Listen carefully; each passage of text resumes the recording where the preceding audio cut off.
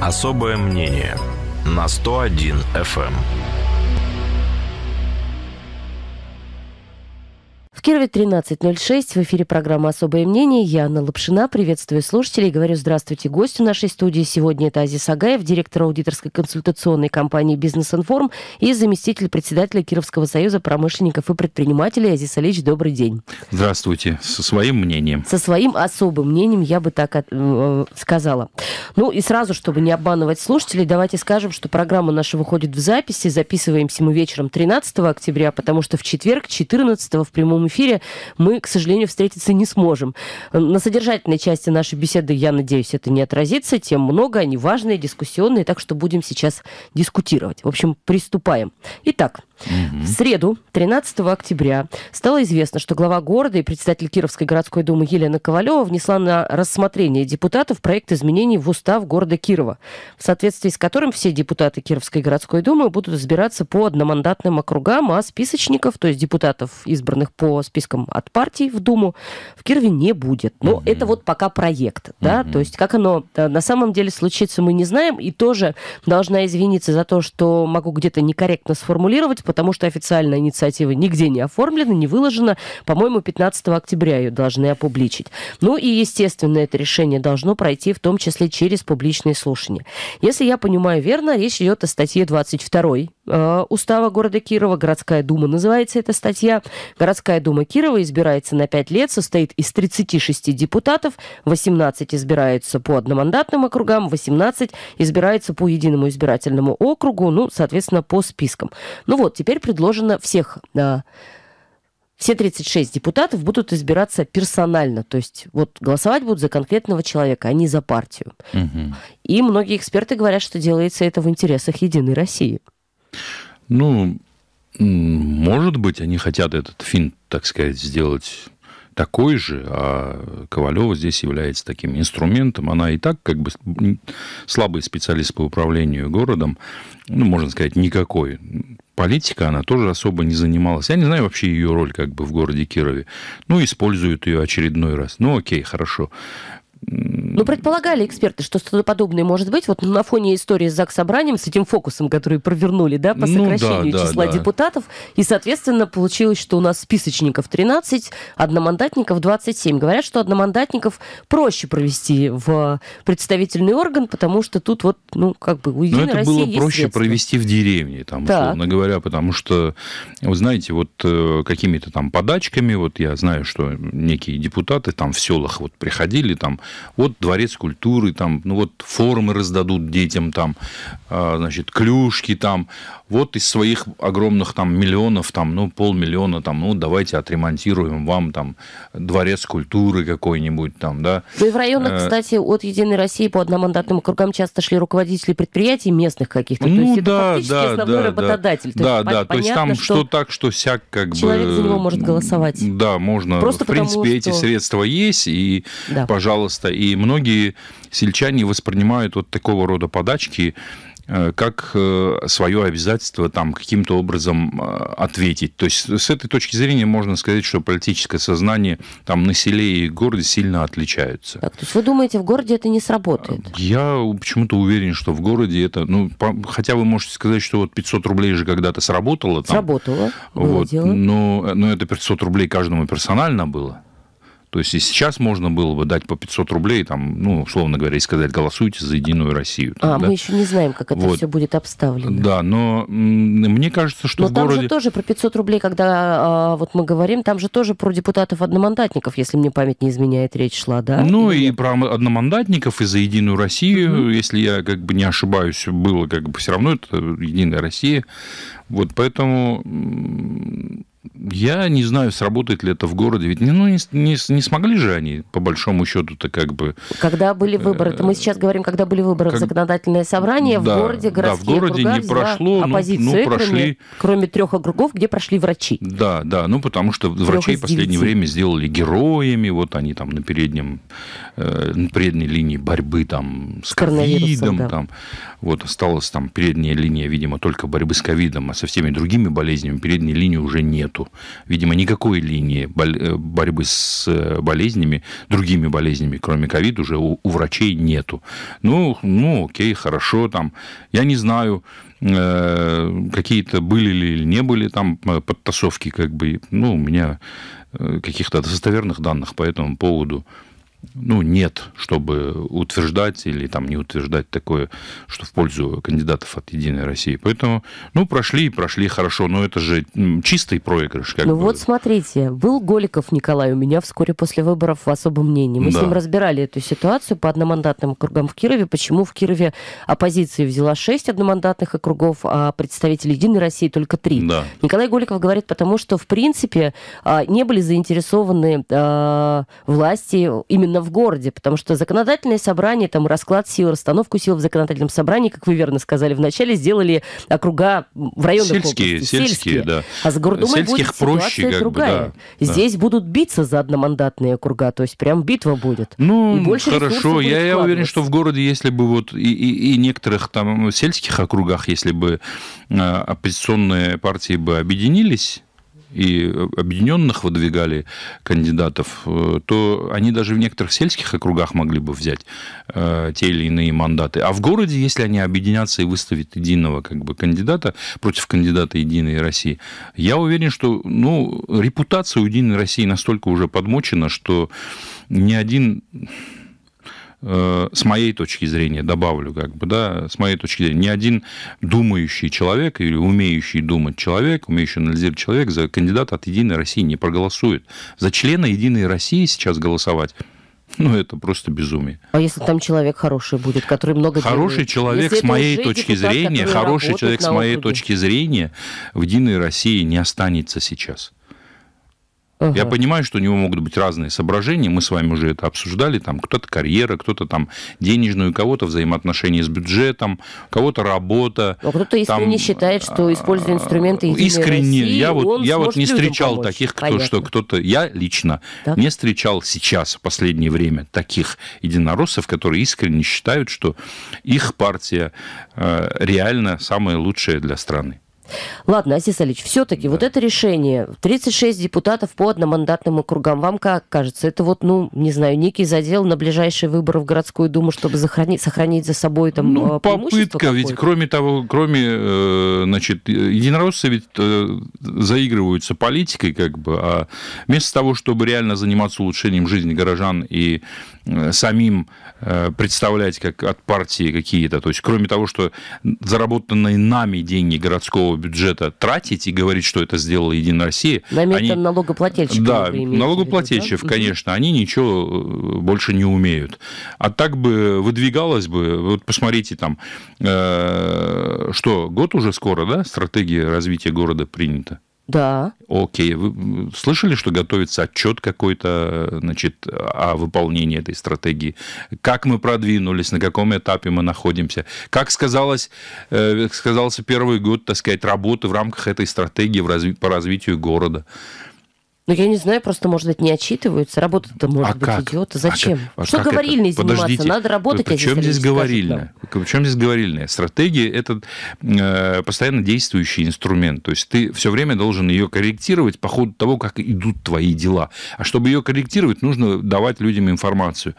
Э, мы корректируем, потому что произошло то-то, то-то, то-то, и, значит, мы целей достигли на столько-то процентов по стратегических целей и движемся еще туда-то, в таком-то направлении. Нет. Ну, может, перед Новым годом отчитают. Да разве до этого по принятой стратегии «Единая Россия» отчитывалась э, значит, о том, как делалось? И сейчас ничего не будет. Поэтому тут вопрос-то как бы о чем? Ладно. Только я... это политические игры. Я не уверен, что эти 36 депутатов, они... Я не знаю... Ну, вообще, э... верите вы, не верите в то, что удастся, например, Единой России не удастся. большинство в городской Не удастся. Не верите. Нет. Даже при таком раскладе. Даже при Даже таком если раскладе. это решение пройдет. Не удастся говорит Азия Сагаев. Хорошо. Тут телеграм-каналы, между прочим, пишут о том, что э, помимо сокращения, а, точнее, по, помимо изменения там, формы выбора депутатов в городскую думу, э, есть еще одно изменение, которое предлагается. Это отказаться от полномочий по контролю за землепользованием и застройкой в городе э, депутатам, да, и передать эти полномочия чиновникам городской администрации. Я не знаю, как это юридически, я специально не изучал uh-huh. этот вопрос как бы перед э, приходом к вам, как это юридически прописано реально в э, уставе города и в других нормативных актах города, но э, считаю, что отказ депутатов от своих полномочий по контролю за деятельностью, за любой деятельностью администрации, ведет к тому, что в принципе этот орган, городская дума, не нужна в принципе, как бы формально. Но э, мы-то понимаем, что э, городская дума э, не формально, а содержательно. Это орган представителей жителей города, а деятельность администрации города должна быть подотчетна, собственно говоря, жителям города, не правительству Кировской области, не губернатору Кировской области, а жителям города, то есть этим самым представителям. И если эти представители вдруг отказываются от своих полномочий, но мне кажется, что... Ну, пока еще не отказываются, ну, пока еще только предлагаете. Ну, вот те, кто предлагают, я думаю, что они, им просто, ну, им некогда, или они считают, что им не нужно это, вот им просто надо уйти, уйти из э, депутатского корпуса и заниматься тем, что они считают для них целесообразно. Вот Ковалевой не хочется заниматься, но тогда непонятно, зачем она вообще, э, значит, э, избралась депутатом и стала главой города. Пусть уходит и пенсионирует себе потихонечку, занимается там выращиванием виноград... винограда. Сурово. Ну, а как? Либо ты э, занимаешься в интересах жителей города деятельностью, либо ты идешь выращивать картошку или виноград, в зависимости от того, что тебе ближе. Ну, смотрите, вот пока неизвестно вообще там, да, чем обоснована вся эта история с э, предлагаемым отказом от полномочий. Может быть, будет пояснение чуть позже, да, э, пока Любые вот пояснения по поводу отказа нет. от полномочий по контролю за деятельностью администрации городской думы от лукавого. От лукавого, говорит Азиз Агаев. Ладно, слушайте, вот давайте, чтобы далеко от выборов не отходить, сразу же немножечко про ЗАГС еще поговорим, про вот эту историю с распределением портфелей в законодательном собрании. Угу. Через две недели ЗАГС собрание снова собирается, 28 угу. числа будут выбирать, я надеюсь, по крайней мере, еще одного вице-спикера. А, решили на двух остановиться, потому что количество депутатов сократилось до 40 человек. Вместо трех вице-спикеров предложено оставить двух.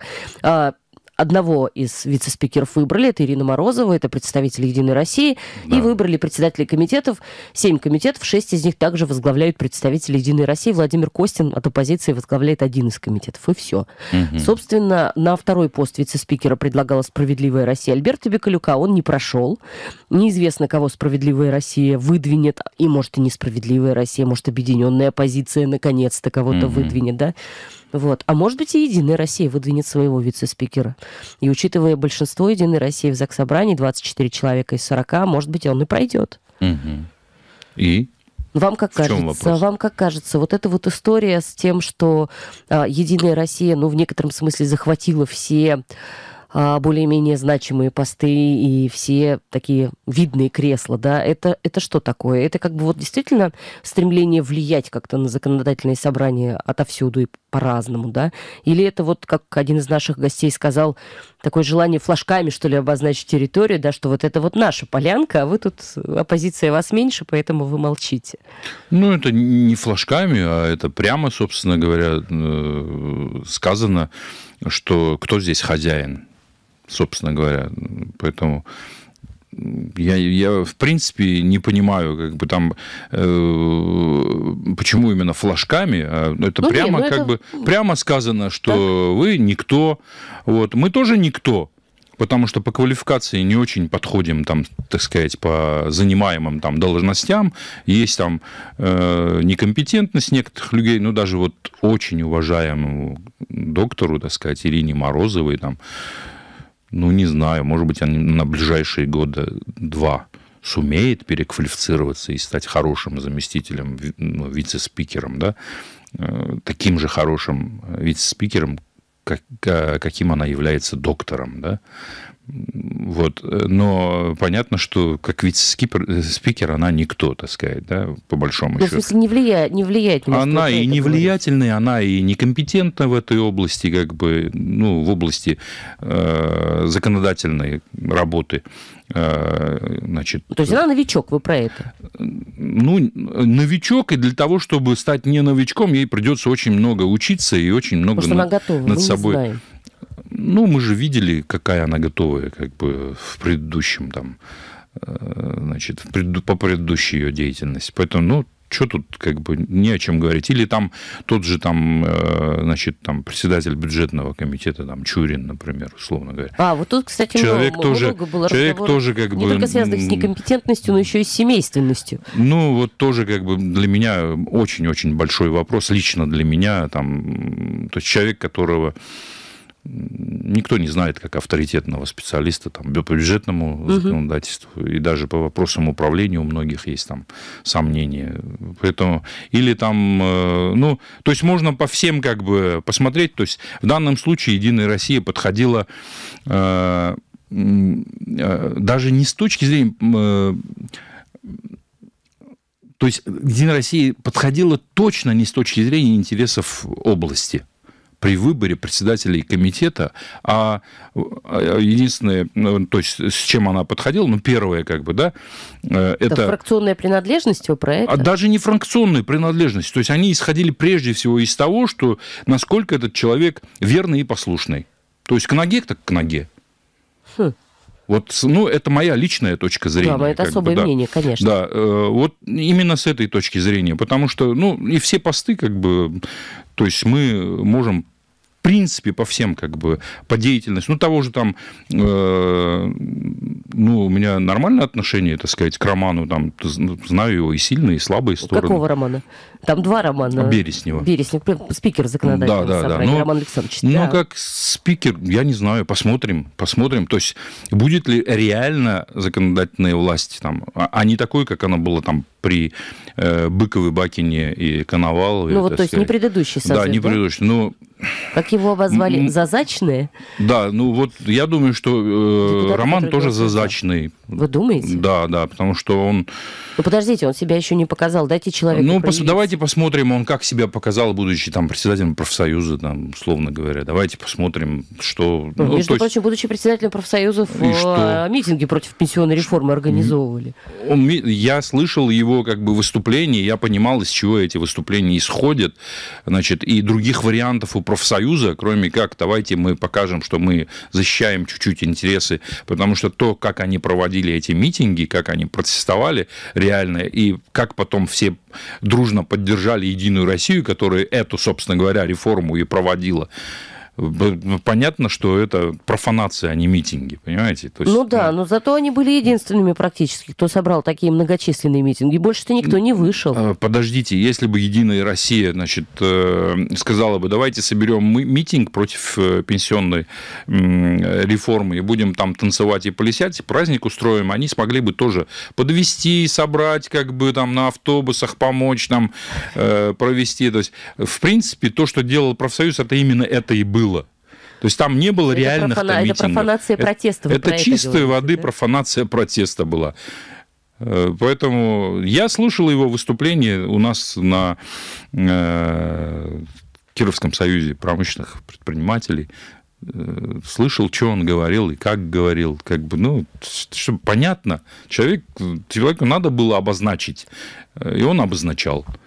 Поэтому нет, не я думаю, что я думаю, что кроме митингов, ну даже если вы хотите ему это в заслугу записать, кроме митингов у него все остальное, пожалуйста, смотрите всю его деятельность и все результаты его деятельности, все, послушайте его выступления или там мероприятия, которые он возглавлял и проводил. Ну, все же понятно. Так, подождите, вы говорите про то, что человек не будет в конфронтацию вступать, там, если что, например. Вот слово конфронтация, интересы, понимаете, слово конфронтация Аня, вот ну не люблю я такие слова. Хорошо, Слово конфронтация это то, что произносят люди, которые против нормального конструктивного диалога. Хорошо. Ну вы же не против нормального. Хорошо, в дискуссию. Человек не будет вступать в содержательную дискуссию с исполнительной властью и не будет давать такую возможность законодательному собранию.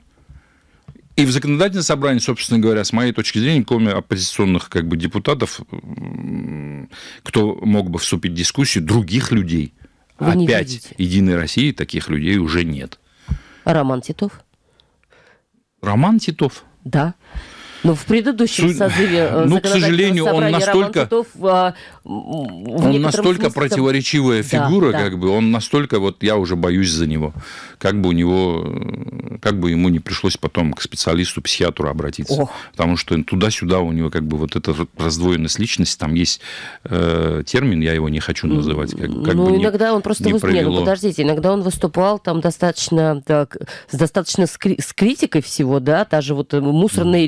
Реформа, заваленные эти наши контейнерные площадки в Новый год, mm-hmm. транспортная реформа. Еще Если бы он еще вот это бы не сказал, когда наши контейнеры завалены, сказал бы, они не завалены. Не, ну слушай, как, были как, же те, кто как молчал. Представитель, как представитель исполнительной власти говорили, что они ничего не завалены, это все время так бывает, и, конечно, были те, кто молчал, но если бы уж Роман Титов это бы не сказал, ну, совсем его уважать было бы не за что. А так? А так, вроде как, ну, но хороший, переживаете. Хороший Ладно. парень. Ладно, ну я это. Ну как, это как не тому, переживать? За Россия... наших, за наших вятских пацанов, которые выбрались куда-то, э, и которые бы должны показать, что они настоящие мужчины, и они в интересах готовы как бы своей малой родины хоть что-то... Как за них не берут? Переживаю.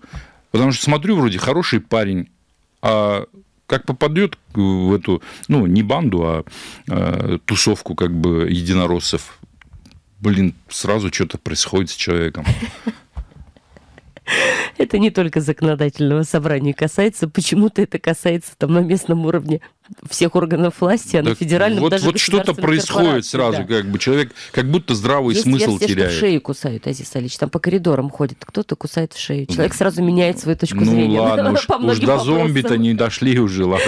Ладно, но это шутка такая. Да, да. Да, слушайте, ну вот а, все-таки ваш прогноз 28 числа дадут а, оппозиции пост вице-спикера или нет? Не знаю, давайте сейчас не будем гадать, какой да именно вот оппозиции. Бы, как, я даже не знаю. Дело в том, что может быть, и дадут, может быть, уважат. Но про Костина-то мы все как бы э, знаем, что он ну, реально был хорошим вице... Владимир Костин, да, да ЛДПр. Да, э, Но ЛДПр очень маленькая фракция. Ну, ЛДПр маленькая всего. фракция. То есть в данном случае... Я даже не знаю, можно ли фракции это называть трех Да, человек. по-хорошему так надо бы дать э, справедливой, справедливой да. России. Они именно, так сказать, уже вторые как бы пришли, да. А можно сказать, что так, если по партиям, так они еще и показали, ого, э, кто здесь как бы хозяин. Там. Ну и в городе же взяли вот, они да. одномандатных округов. Да, Но да, им не дали, смотрите. Вот они Альберту Бекалюка выдвигали, не дали. А им не дали. Будет вторая попытка, интересно? Э, может быть. Я бы, в принципе, принципиально бы снова Бекалюка выдвигал. И снова, например, его и снова его, его не дадут. То есть тем самым показывать, э, значит, людям, кто голосовал, что именно единороссы против нормальной конструктивной работы. Угу. И в реальности, э, в принципе-то, надо давать людям, которые понимают, что такое бюджет, как он формируется, как выполнять там программы государственные, то есть э, как деньги зарабатываются, то есть они крадутся и не э, и не присваиваются. То есть надо вот контроль за бюджетом, например, давать именно... И в данном случае реально контроль за бюджетом если это будет в руках первого, ну, вице-спикера, ну, точно не у Ирины будет э, Морозовой, потому что ей еще больше придется тогда учиться, чтобы еще этот там понять, да, условно говоря. А реально надо давать вот оппозиции, чтобы они реально контролировали, а что делает правительство-то с деньгами э, налогоплательщиков. Ну, а в статусе рядового депутата они разве не могут это контролировать? Не получается. В статусе рядового депутата, насколько я понимаю, очень редко дают полную информацию, то есть там доступ ограничивают доступ к информации. Угу. Хм. Вообще, на самом деле, интересно, конечно, посмотреть на итоги заседания 28 числа, что будет. Но вы вот скажите мне, пожалуйста, вы вообще довольны результатами выборов в законодательное собрание или нет? А, Мы в, с вами не задолго. В каком смысле? Чем? Ну, тем, что в процентном отношении сколько получила Единая Россия, она даже получила, э, в результате ей сосчитали больше, чем она заслуживает, так угу. сказать, того в итоге, да? Не, ну э, давайте про законодательное собрание. Вот законодательное собрание интереснее стало по составу, Состав? по соотношению сил, там, по, по людям, которые оказались там, или нет? Ну, время, время это покажет. Я, я думаю, что оно стало интереснее как раз за счет вот вхождения туда вот э, оппозиционных депутатов от э, «Справедливой России», И, э, значит, интереснее стало, ну, или осталось интересно за счет того, что Костин там остался все-таки, он показал себя в предыдущем заксобрании именно человеком, который, ну, радеет за интересы Кировской области. То есть он, причем спокойно, если я, может быть, иногда эмоционально радею, там, условно говоря, там, да, за интересы там, области, или говорю эмоционально, может быть, кто-то обижается, я прощения прошу всех, кто обижается заранее, а вот он, как бы, вот он умеет, есть чему поучиться у человека, да. Ну, Владимир Александрович, кстати говоря, многие э, называли э, ну, хорошим кандидатом на пост вице-спикера от оппозиции. Он хороший кандидат на, то, на, на пост спикера. У ЛДПР Он отличный кандидат на пост спикера. На пост спикера. То есть, если да. сравнивать мы, его... Мы это видели. Да, его и э, Романа, так сказать, да, то... В предыдущем созыве. То, да, то он, он намного э, как бы качественнее, он как кандидат намного. Не как человек, да, как человек у обоих есть свои достоинства и недостатки, а как кандидат, как человек, который мог бы управлять э, процессом на заксобрании, он э, намного качественнее. Но не сложилось. А и не сложилось бы, потому что, еще раз говорю, сегодня э, этот орган власти формировался не в интересах Кировской области, он формировался в интересах политических каких-то там реалий, там, политических партий, и в интересах тех, кто вот из этого дома, там, из исполнительного из органа, да. да, серого дома управлял э, вот этим процессом. Азиз Агаев в нашей студии, директор аудиторской консультационной компании «Бизнес-информ», заместитель председателя Кировского союза промышленников и предпринимателей. Про предпринимателей сейчас будем говорить после небольшой рекламы. Продолжаем особое мнение. Азиз Агаев в нашей студии. Про предпринимателей будем говорить, сказала я, а, тем, как жить предпринимателям в наши непростые коронавирусные времена. В понедельник э, озаботился в очередной раз Роспотребнадзор.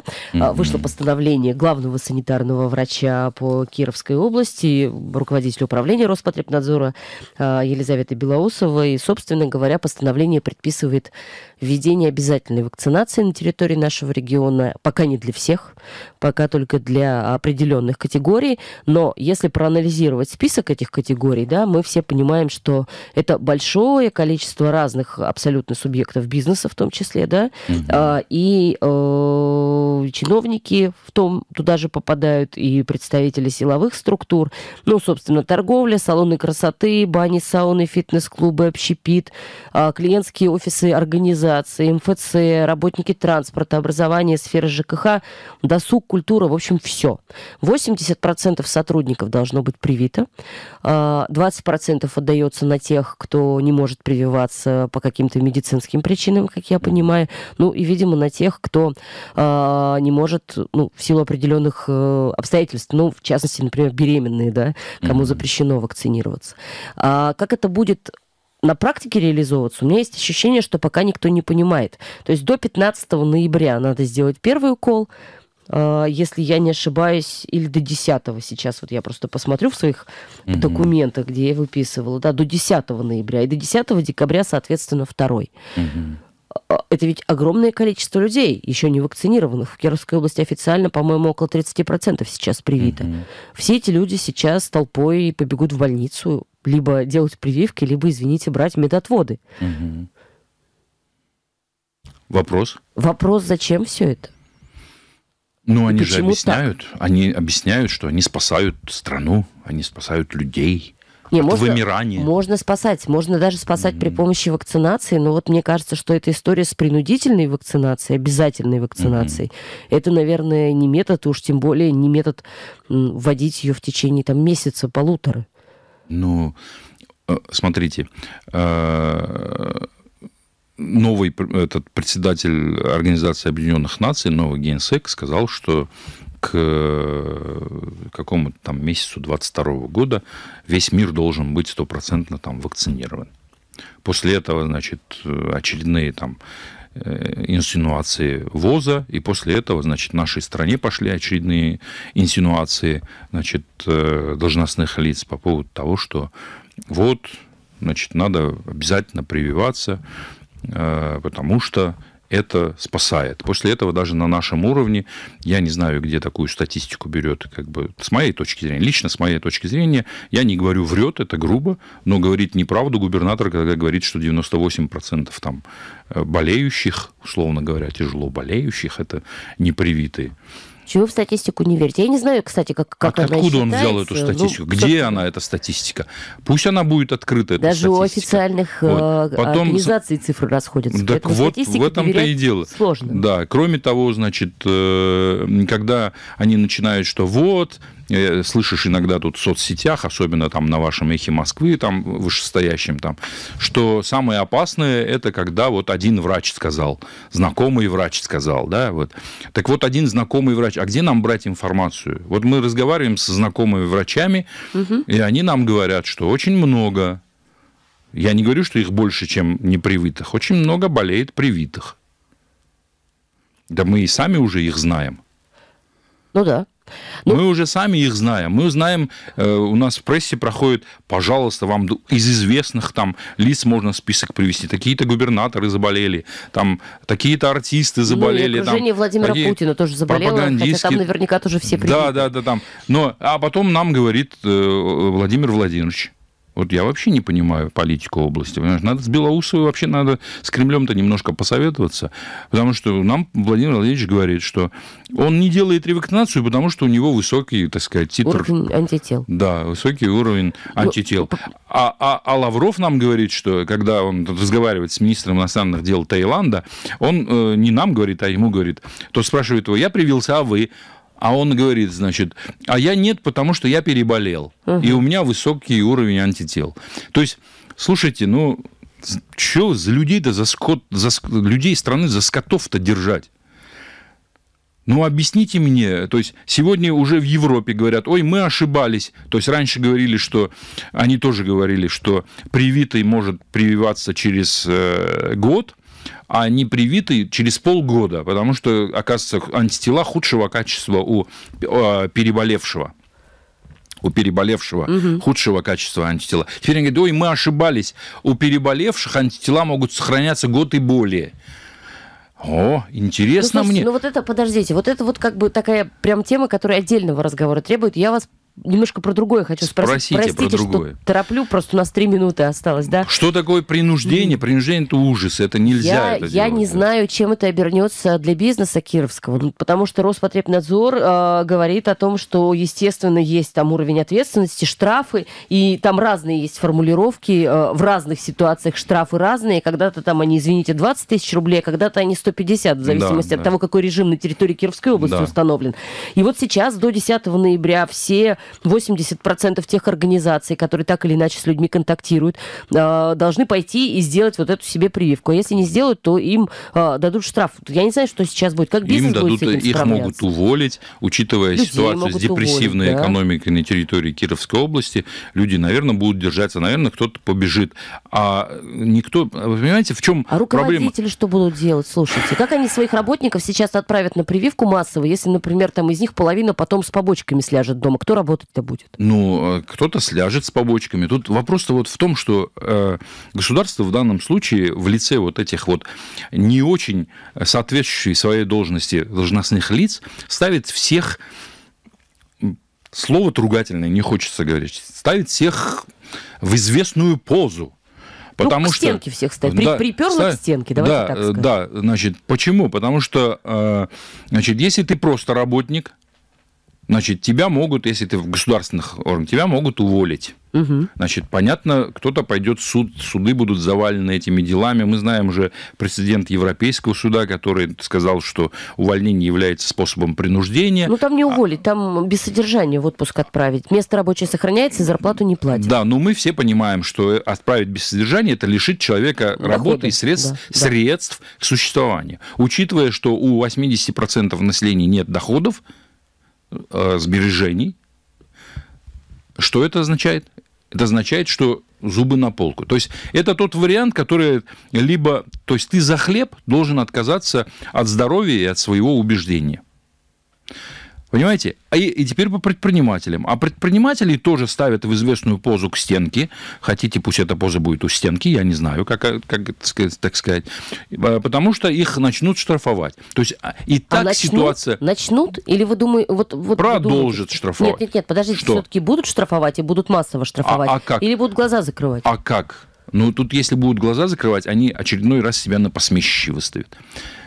Ну, а если предприниматели в этой ситуации не будут сопротивляться, то они себя выставят точно значит, как стадные, как бы... А как они могут сопротивляться? А пусть сопротивляются, а пусть как? собираются, пусть э, докладывают, пусть подают массово в суды, значит, пусть, не знаю, пусть не здороваются с этими э, должностными лицами, пусть соседи, предприниматели говорят им, ай-яй-яй, нехорошо, то есть не надо к ним домой ходить, а говорить им, что вы неправильно, так сказать, поступаете, э, знакомые, пусть им предприниматели, кто их знает, пусть звонят им, объясняют, они же должностные лица, мы можем в рабочее время звонить и говорить им, что они неправильно поступают. Наверное. Пусть прокуратура работает, в конце концов, уже не, не в этом смысле. Смотрите, статья 19 Конституции, дискриминация в любом любом виде, в том числе по любым обстоятельствам, не допускается. А это чистой воды дискриминация. Азиз Алиевич, у нас времени не остается, к сожалению. Mm. Ссылаться на Конституцию в России современной, это как-то, вот я не знаю, очень-очень идеалистически, я бы сказала. Я не хочу, не хочу говорить. Ну, не знаю, ведь Конституция да. разрешает нашему президенту еще раз баллотироваться. Да, измененная, перекроенная Ну раз, вот, да. все равно же, так эта статья, на которую я сослался, она же осталась неизменной. Вот, да. Поэтому, я не знаю, идеалистически, не идеалистически, если мы не будем ссылаться на какие-то нормы закона, и у людей не будет законных вариантов бороться за свои права, то давайте просто зададим вопрос, чтобы нас не обвинили ни в чем. То к чему мы придем? Когда-нибудь. Азиз Агаев в нашей студии, директор аудиторской консультационной компании «Бизнес-информ», заместитель председателя Кировского союза промышленников и предпринимателей. Мы особое мнение на этом заканчиваем. До свидания. До свидания. Особое мнение на 101 FM.